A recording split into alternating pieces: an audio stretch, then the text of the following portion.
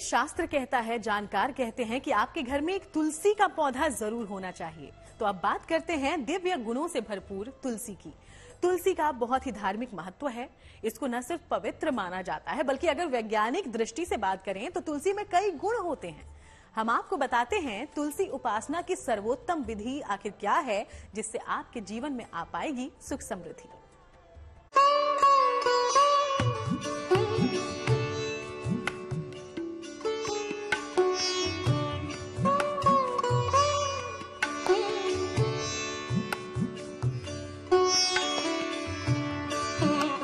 सनातन धर्म में तुलसी की महिमा अपरंपार मानी गई है।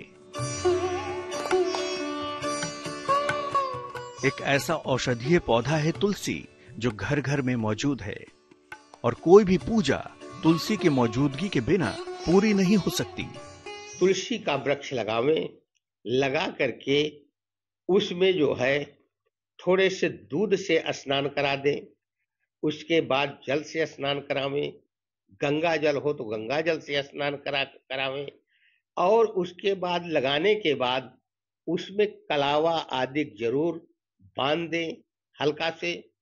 और वहाँ पर एक दीपक रख करके तुलसी जी का विष्णु रूप, लक्ष्मी रूप ध्यान करते हुए उनकी प्रार्थना करें कि आज से आप मेरे घर में, आप निवास करें।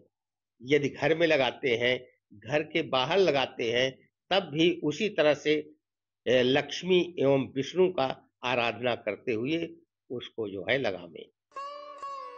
अगर आप भी तुलसी माता से सौभाग्य का वरदान पाना चाहते हैं तो उन्हें सत्सम्मान अपने घर में विराजमान करवाएँ। तुलसी का पौधा किसी भी बृहस्पतिवार को लगा सकते हैं। तुलसी का पौधा घर या आँगन के बीच में लगाना चाहिए। अपने सोने के कमरे की बालकनी में भी लगा सकते हैं तुलसी का पौधा। सुबह तुलसी के पौधे में जल डालकर उसके परिक्रमा करनी चाहिए। शाम को तुलसी के पौधे के नीचे घी का दीपक जलाना उत्तम होता है।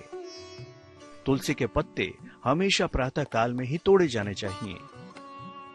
भगवान विष्णु और इनके अवतारों को तुलसी दल ज़रूर अर्पित करें। भूलकर भी भगवान गणेश और माँ दुर्गा को तुलसी अर्पित न करें। तुलसी के पत्ते कभी बासी नहीं होते। पुराने पत्तों को पूजा में प्रयोग किया जा सकता है। तुलसी के बिना भगवान विष्णु की कोई भी पूजा पूरी नहीं मानी जाती है। ऐसा माना जाता है कि जिन घरों में तुलसी का पौधा लगाया जाता है, वहाँ सुख, शांति और समृद्धि आती है और आसपास का वातावरण भी शुद्ध हो जाता है। धर्मशास्त्रों में कहा गया है कि तुलसी के पौधे के दर्शन मात्र से सभी पापों का नाश हो जाता है तो आप भी दैवीय कृपा दिलाने वाले इन पौधों का लाभ उठाएँ और अपने जीवन को मंगलमय बनाएँ।